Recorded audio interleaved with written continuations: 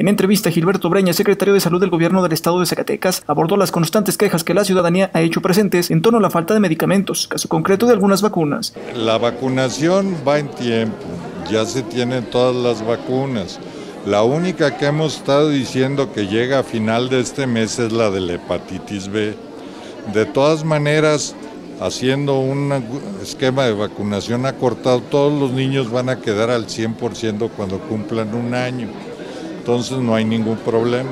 ¿Por qué se ha retrasado la vacunación para algunos niños recién nacidos? Porque las vacunas se compran a nivel nacional, nosotros nos las compramos. Entonces, dependiendo del proveedor, cuando llega la vacuna hay que hacerle todos los controles de seguridad y hasta que se hacen los controles de seguridad se comienza a repartir y se aplica. Entonces es un proceso que lleva cierto tiempo, ¿verdad? El funcionario estatal manifestó que se continuará trabajando en esta y otras quejas que la ciudadanía pudiera presentar en torno a los servicios de salud en el estado. La de influenza comenzamos ahora con la etapa de vacunación. La época de vacunación es desde ahorita hasta marzo.